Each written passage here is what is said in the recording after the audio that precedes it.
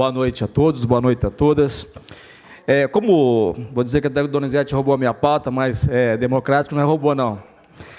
Eu também não tenho dificuldade de vir aqui e reconhecer é, quando tem uma ação de grande importância ou valia para o nosso município.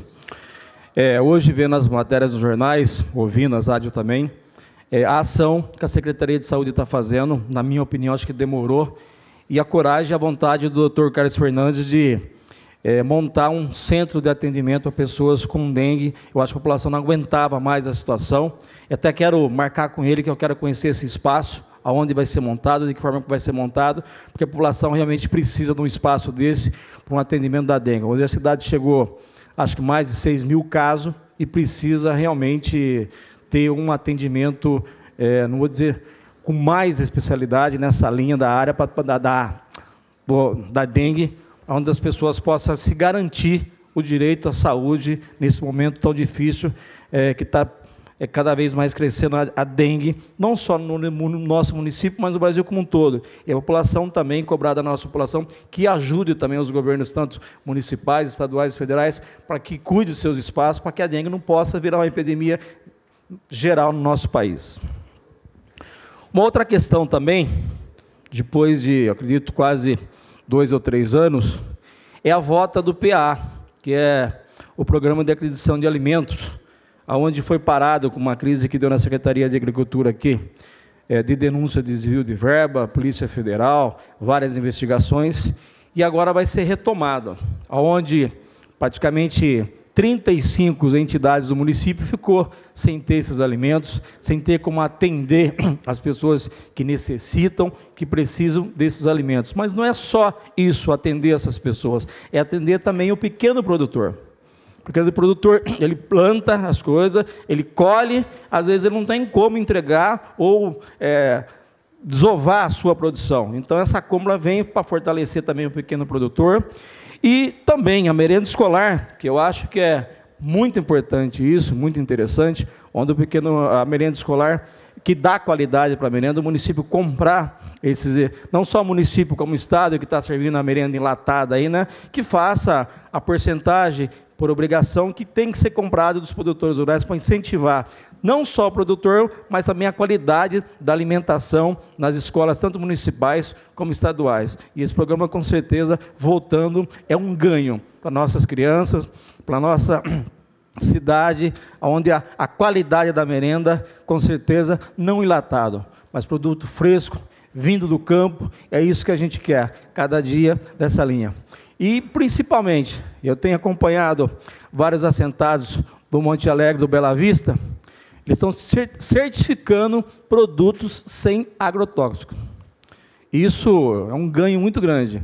Estão certificando, estão pedindo certificação para produtos no assentamento Bela Vista sem agrotóxico. Produtos que estão vindo para a feira noturna, a feirinha noturna, é, a feira na Praça Pedro Toledo, a feira que acontece também na, no terminal de integração, e isso com certeza é a qualidade do produto, é o alimento é, consumido com, sem agrotóxico, se chama o quê? Qualidade de vida.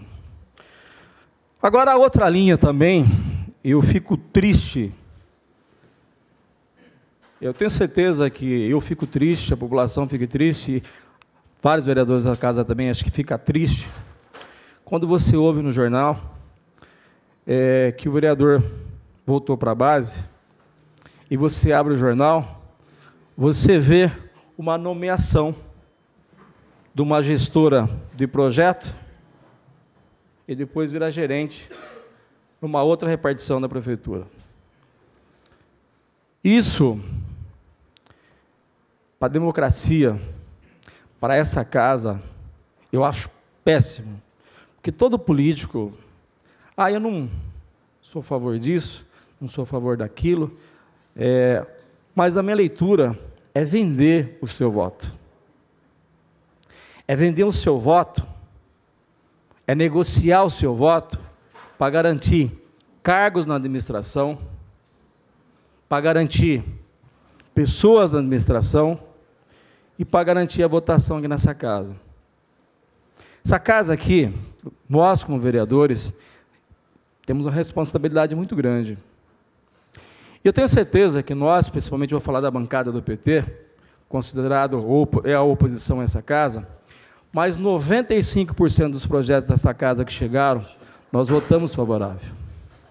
Votamos favorável pelo seguinte: lemos os projetos, entendemos os projetos e votamos sim, com responsabilidade.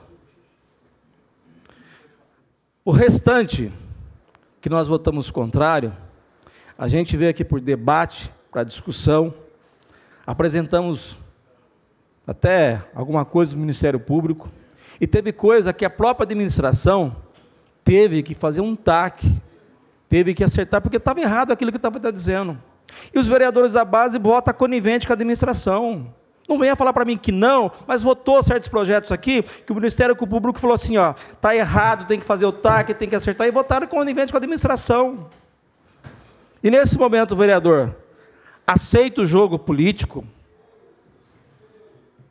e da forma que foi feito, rompeu com o governo e, fa e faz a negociata. Isso a população não aguenta mais. A população está esgotada com isso. Eu acho que quando você rompe, você rompe de vez. Se você não quer romper, vai lá e dialoga. Mas a forma que foi feito, eu não consegui isso, não consegui aquilo, eu rompi, e depois quando você vai lá e te oferece, você aceita, quem que é pior? Essa pergunta que eu falo e deixo no ar. Obrigado e boa noite.